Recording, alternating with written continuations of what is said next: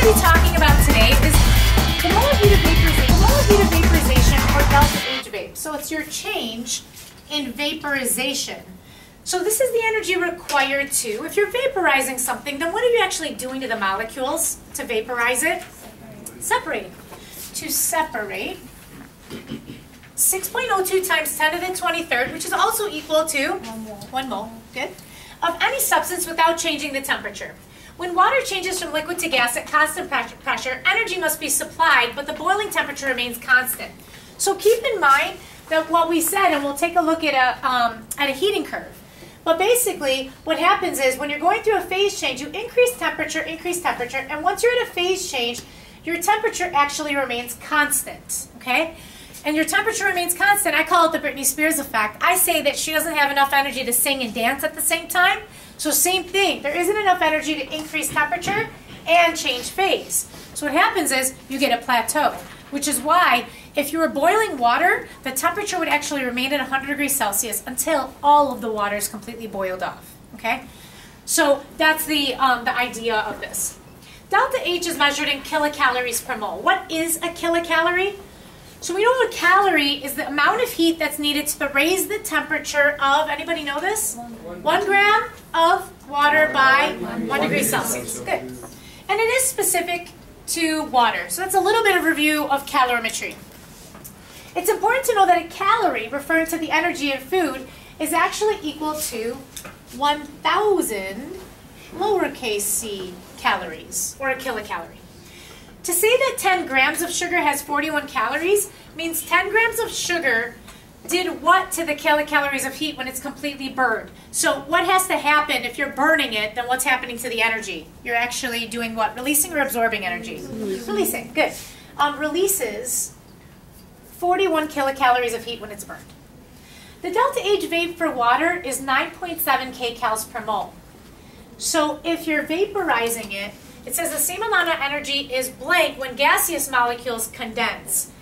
If instead of heating it up and where you're supplying the energy and you're getting it to vaporize by getting it to boil, so you turn on the stove and you add the energy in, what if the reverse were happening and condensation was taking place?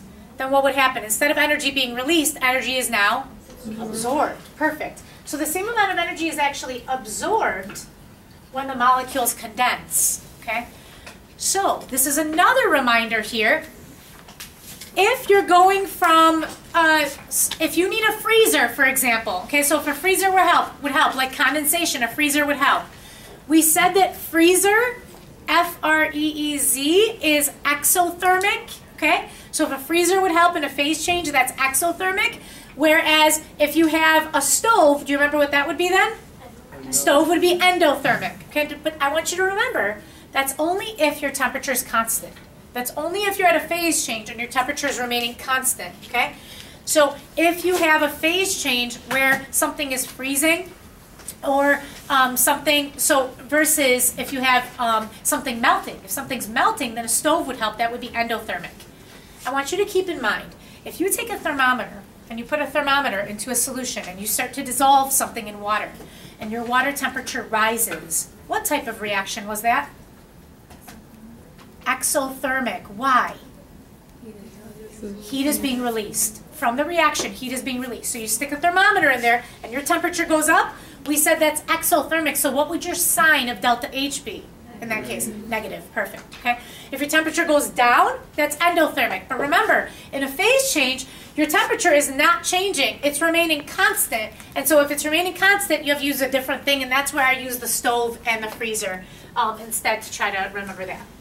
Okay, it says for dinner you decide that you want to boil some potatoes. So you fill a pot with 250 mils of water, 250 grams. You got to watching Friends, you never put the potatoes in, and all the water is evaporated. How much energy did it take to boil the water to dryness? And they're giving you your delta H vape. They're also giving you grams. This is a review question. So what are we looking for? We're looking for how much energy, but that's not a unit. What unit would be the, a good unit to use here that we're looking for? Kilocalories. Because that energy is in kcals, let's use kcals. Okay. We've got two places to start. If you're ending with one unit, you should be starting with one unit. So let's start with the 250 grams. And this is just water. It's H2O.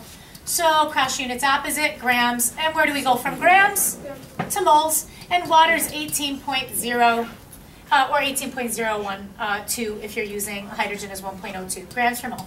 And now I'm in moles. So now what can I use? moles to grams, and so how do I, uh, moles to what? Kilocalories. And how do I go moles to kilocalories? 9.70. Awesome. All right, so we're going to multiply and divide this. I get 134.57, 343 sig figs, so we're going to go 135 kcals is how much energy it took. Okay. Sum up. Vapor pressure is the pressure exerted by a vapor in equilibrium. We talked about that. The vapor pressure of a liquid depends on two things. It depends on the nature of the liquid.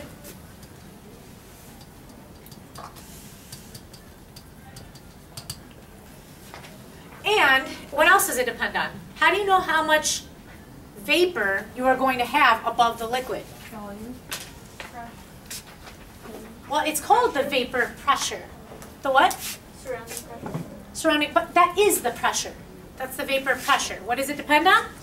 Your temperature. Awesome. It depends on the nature of the liquid and the temperature. So as you increase your temperature, you're going to get more vapor, right? You're going to get more gas, more liquid converting into gas. And so it always depends on two things. Now when we say the nature of the liquid, anybody know what three letters I'm basically talking about when we're talking about the nature of the liquid? IMF. IMFs. Perfect. The nature of the liquid means it's IMFs, okay? So if you have a cup of water at room temperature, you have mercury in a thermometer at room temperature, and you have a tree at room temperature. All three of those, and maybe you have a, a balloon filled with helium gas. All of those are all in their phases, in that particular phase at room temperature, all because of their IMFs, okay? So when you talk about the nature of the liquid, it's just talking about just its intermolecular forces that it has. Because if it has stronger forces, then it's going to be harder to pull those molecules apart from each other. If it has weaker forces, then it's easier to pull those apart from each other. Okay, and as one temperature, at any one temperature, different liquids have different vapor pressure, so that's the case. And then as your temperature increases, what always happens to your vapor pressure for any liquid? It also increases. So that's it for um, the vapor pressure.